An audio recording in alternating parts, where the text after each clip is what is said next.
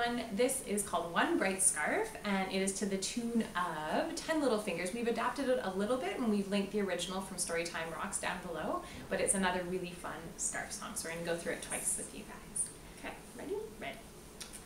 One bright scarf waiting for the wind to blow. Wiggle it high and wiggle it low. Shake it fast and shake it slow. It go? I think it went behind your back. Let's see. there it is. Okay, here we go.